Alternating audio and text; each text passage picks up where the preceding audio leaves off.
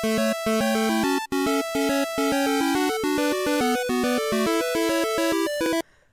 and welcome to Armed with Controllers. This is Fabs, and today it's the latest installment in the Final Fantasy V Four Job Fiesta.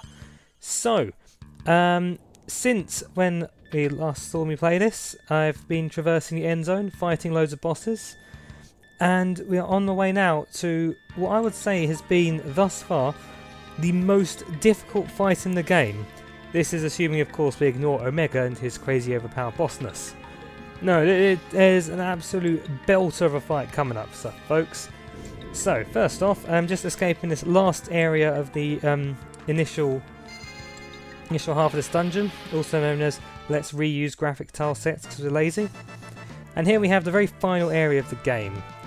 This is an absolute nightmare to traverse because all of the random encounters, they're all um, they're, they're all boss level, you don't get any experience out of either, so it's a pain in the behind. But first, here's Gilgamesh randomly. Yes, you might remember in the previous, um, one of the previous videos, he was banished to the N-Zone by Exdeath for...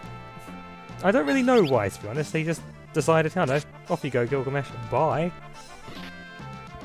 Okay, so... As you can see here, he's proving not to be the uh, most difficult opponent at the moment. As so, he's clearly uh, in a bit of a crazy state at the moment. Only just recognised us. Oh, Gilgamesh, you crazy comic relief, relief character, will you ever learn? Now, I think this conversation in particular really suffered from the translation because it's completely nonsensical. As near as I can tell, I gather he's meant to be recognized thinking, oh, are you guys ghosts or something? Um, I can't find the exits, this is annoying, and then, I, I don't know, it, it's really weird and one-sided, and it's difficult to tell what, what's being said. It's, it's like a proper stream of consciousness. It's quite bizarre. So I suppose, yeah, that, that is the, uh, the downside of playing the um, PlayStation version, which uses a translation that was originally designed designed for the um, Western release of Final Fantasy V, but that never happened. Well, yeah, back when it was on the SNES. So there we go. So just you know, when they did release this in the West, they just reused the old script they had kicking around, and we all suffered for it. So yes, if I suppose if you want to enjoy this game the way it's meant to be enjoyed, theoretically, you'd be better off with the Game Boy Advance version, if only because that one takes a script and it offers a very pragmatic ad- adaptation by amp- amping up the uh, already prevalent humour and really just having a bit of a laugh about it. Okay, so um, as I mentioned earlier, the enemy, the random fights here are all nightmares, so I am skipping them because as it stands, you'll just be watching me run away and then have to re-heal everyone afterwards. It was tedious playing it, and I expect to be tedious watching it. So wow, look, there's a chest there. I wonder what's in that chest. Let's not go for it because it's a boss that will kill me very quickly. So there you go. Yes, in that chest is the other of the um, two crazy bosses. The uh, saw last time we saw Omega. Um, what we have here in that chest is Shinryu, the Dragon Lord. Oh crap. Exactly. So uh, let's just leave him there.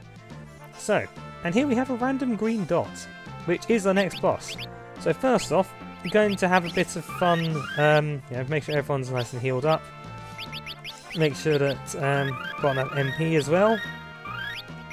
And uh, one other little thing, I'm going to move uh, Exchange Soft for the Wonder Wand in my item list. You see, what the Wonder Wand does is when my Red Mage or any other um, rod using character uh, when my Red Mage goes to item list, you can actually select your weapon and use as an item against the opponent.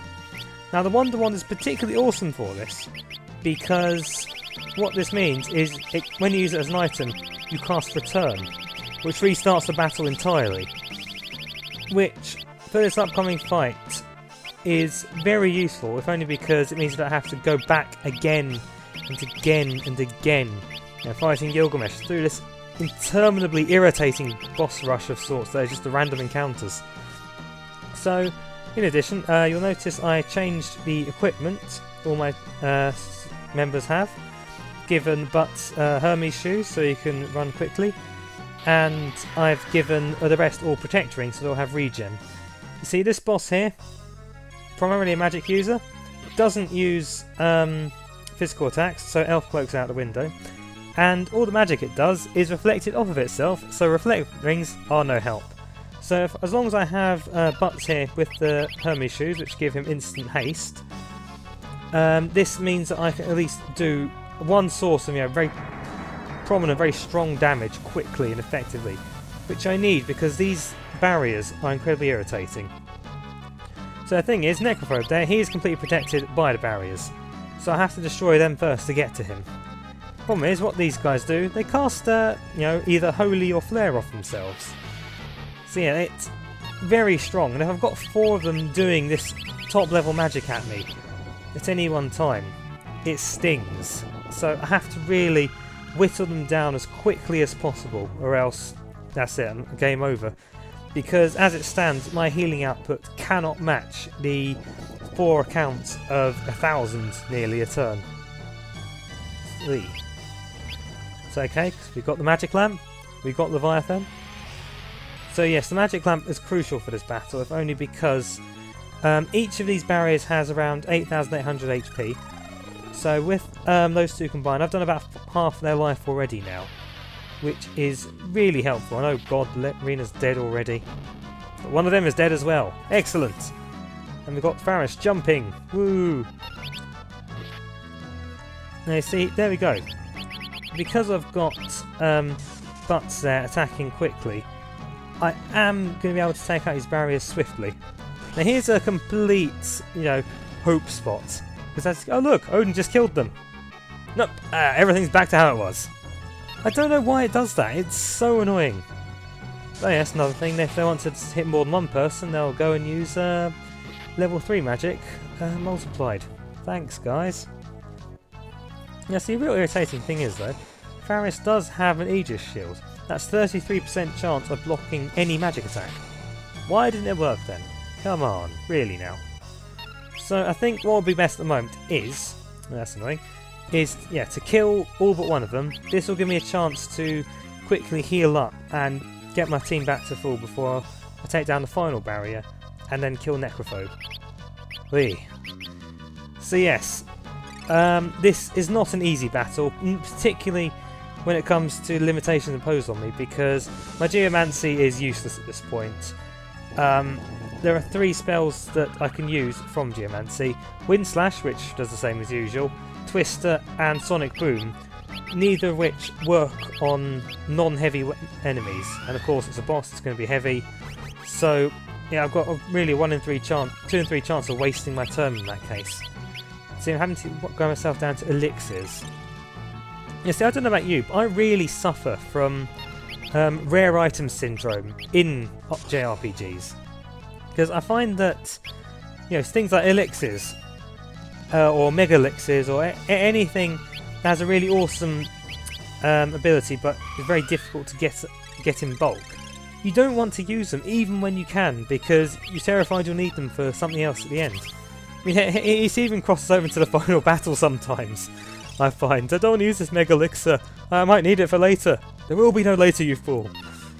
So yes, luckily though, um, definitely the Elixir was the best move there because um, good old Faris with a 2000 HP, it would have taken far too long and increased the chance of her being dead uh, to do it manually via Cure 2 or potions or whatever. But never mind, just, you know, Krill, you know, happily uh, just casting rays repeatedly. Okay, that's that's a lot of them dead. Now we've got the Necrophobe. Yes, the invincible barrier. Is there's no choice. Ah. Now I have to taste his power. Ooh, to the full. Well. And he starts by giving everyone sunglasses! Which is kind of annoying. Okay, so definitely do need to uh, us guy who's boss though. So let's summon, um, I can't remember his name, Hydra. Yeah, we'll call it Hydra. Yay. Now see, one nice thing about Necrophobe is he has almost no defense, both magical and physical. Which means that when you hit, you are going to be seeing a lot of damage, which is very, very helpful. Okay, magic lamp again? Yeah, magic lamp. And it's carbuncle, thereby making it completely pointless to uh, do Cure 2, and now I kind of have to rely on things like elixirs. Oh well. The plus side, did you see that 8,000 damage? That was pretty awesome. And off goes Krill. Right, we can revive her later. There's a waste of a turn thanks to Shoat. Woo. See, um, what Shoat does is it petrifies a target. Of course, this is a boss, so um, immune to petrification. Yay. Okay, let's uh, quickly cure up Nina because otherwise everyone dies and it's painful. Okay, who next, Magic Lamp?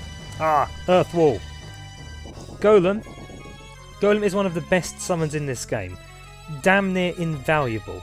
As you can see, what he does, he has a certain amount of HP and he'll absorb that much um, in terms of physical attacks from your opponents. So having him up is a lifesaver when you've got a bunch of people with really low health and you need to cure them. And plus, good lord, 97, that's the highest amount of damage I've ever seen me do. I'm so happy with that. So yeah, basically Golem, pretty damn awesome. Let's just waste a turn with uh, Geomancy because you know I like to say things and ignore them. And down goes Krill. Yay! Oh well, let's just uh, blindly swing at the Necrophobe. What, what's this? Oh, Gilgamesh is here, to on the opposing side. Ah, nuts. But, yay! He made it apparently. What's Gilgamesh gonna do? We didn't leave you. No you you ran off. Oh dear. Now, see, one thing I will say the text in this game, the battle text it is, moves so slowly. And this is after I've turned up to max. I'm sure they did this on purpose for this particular moment because it's, you know, people talking. See, I can't tell who's saying what, that's the problem. What's your problem? You'll be. Okay, I take Necrophobe saying that. Which sounds really weird. It doesn't sound like the kind of thing that guy's going to say. Oh well. So, basically, one thing I can do is, if I can do 10,000 damage to Necrophobe in a single turn now, as in that, I think as of this point, no, maybe not then, um, you can actually avert what's about to happen and access a super secret ending. But nope, he's going to instead talk to an unconscious girl instead. About her grandfather. Yeah, that's the kind of chat up I like when they're unconscious. Okay, she's talking in her sleep and everything. Creepy.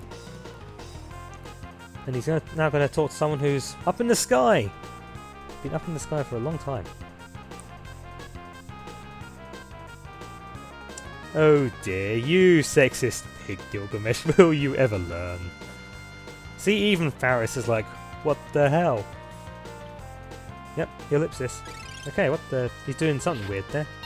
So yeah, at, this point now, um, the battle is over uh, in our favour. I mean, we can do anything we like to Necrophobe, no damage will be dealt. Which is weird. And stop spoiling the animals? And be nice. I think she's already learned how to be nice to others. But what's wrong with spoiling animals? They're pretty cool. Oh well, never mind. Yep, you, you two can just say ellipsis. And Butz. What have you got to say, Butz? Or two butts, sorry. Just once more. Go on. Ah, oh, don't worry. Play Dissidia Duodecim, you'll get that chance. Ah. Isn't that heartwarming and sweet? I assume that's one random member of the party saying that.